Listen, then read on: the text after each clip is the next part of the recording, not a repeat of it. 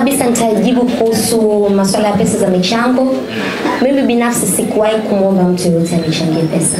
Nadhani ilikuwa ni just out of love na watu wakaamua tu wafanye hicho walichokuwa wanakifanya, lakini nilishawaambia kwamba siko comfortable na wasitishe, na na imani kulikuwa kuna, kuna kusitisha. So kiukweli I really don't know what happened after that, na sikutaka kujihusisha kwa sababu sijawahi from the beginning kumomba mtu yoyote anifanye michango or anything.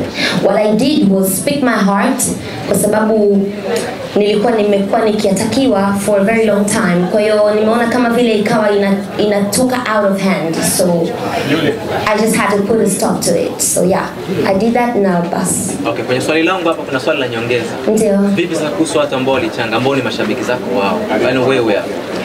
Um, alikuwa anapokea tajiri sijui sijui hata niseme nini cause sijawahi kuhusishwa and I don't know anything. Na ni kweli kwamba Wema alikuwa hana gari? Sijawahi ku yani mimi nitakacho nitakacho kuambia ni kitu kimoja.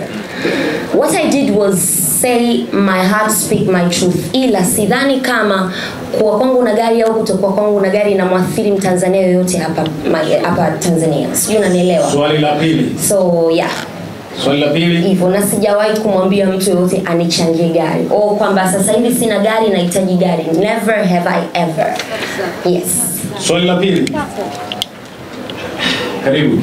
Next Mbona kama unachukiwa? mbona unachukiwa? MC mbona kama wamchongwe? najaribu kudai na huyo. Mwingine atakiwa aendelee na mara nikasema maswali matatu kauliza mawili ya ziada na karibu. Ah, mimi nataka kuuliza baada ya yale kutokea kwa baina yako na Aristotle, kuna watu wanaweza kuzungumza labda uh, kuna ugomvi wote baina yako na Aristotle mpaka ikapelekea yeye kuzungumza vile. Baada ya Aristotle kuwataka kumshia kumtafuta na kumwambia chochote kabla ya wewe kwenda uh, kwenye peji yako ya Instagram na kuzungumza maneno yake. Kwanza kabisa nisingependa kumwongelea huyu mtu. Jamani, yani nisingependa kabisa kumpa airtime. Kwa nini? sana sana nikiwa niko hapa i just sign my deal alafu niendelee kumwongelea mtu ambaye hana maana hana faida kwenye maisha yangu. So I'm sorry I'm not gonna do that. Swali la nyongeza hapo. yes. Nataka swali la sorry. La nyongeza ni kusema ambalo linajaliza kwa swali la swali nahisi naomba swali la mwisho lije hapo. Ume- umeuliza maswali mengi sana. You're getting carried away. Naomba swali la mwisho kaka. Okay, Wema Sepetu, nyota yako bado iko. Uh, kutokana na situation ambayo ilitokeza, kuna namna watu labda watakawapima wataka nguvu yako ikoje. Uh, kupitia situation ilitokeza kwako wewe kwenye issue za brand, unajua umeanza kupata deals kama hizi. Uh, umepata picha, picha gani sasa kwenye brand yako na future yako sasa kuhusiana na kazi zako na maisha yako mapya kabisa?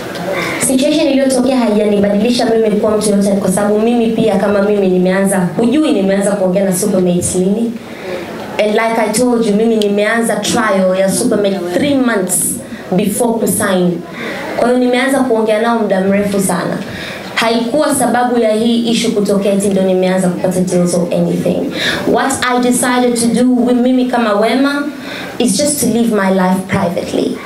Na kitu ambacho nakienjoy na nahisi kilichotokea ni growth kwa hiyo you don't need to know my life. Hamuhitaji kujua maisha yangu kindakindaki what i do ninavyoamka ninavyolala ninachokula ninacho, yani this is not your concern. Na mimi pia sijapenda niweke out there. Kwa hiyo wema sepetu itabaki kuwa wema sepetu tuna wema sepetu ni mmoja tu. Hata kuja kutokea mwingine. Asanteni sana. maisha yake kindakindaki. Um, ya hapa hapa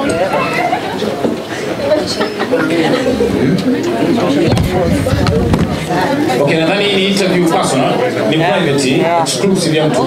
Kwa waandishi wengine mnaweza mkaendelea na protocol. Namuona Chalia Chuga amemfuata Madame, eh, kuna stories ziko kule. Na zikaendelea. yani umezifanyia Njoo tayari, niko tayari. umezifanyia tour Ukitoka huko kila Nawashukuru sana sana kwa kufika Tunataka mwenyewe. Unicorn Hygiene ambako siku ya leo uh, tumetangaza Wema Isaac Abraham Sepetu kuwa balozi wetu Tutafanyia pale? Ambazo zinapatikana bango alionekana- anaonekana tu Wema kwa pembeni.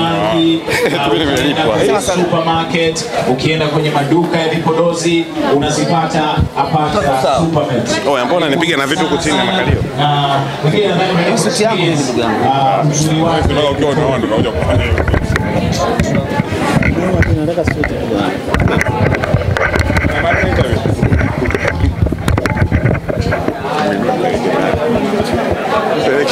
Peleke ndani. Najua kidogo nimechelewa lakini Huyu hapo, huyu muulize. Anataka kukuona. Tunataka kumuona mwana. Fasta fasta basi. Okay,